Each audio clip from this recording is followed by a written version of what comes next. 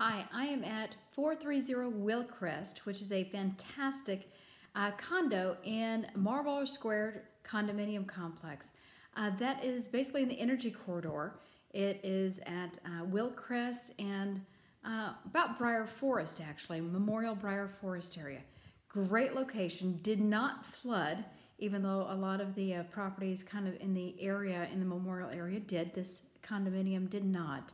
It is a two bedroom, two and a half bath. Both uh, the bedrooms are upstairs, really nice size, very generous size master suite upstairs with a, a garden tub uh, upstairs.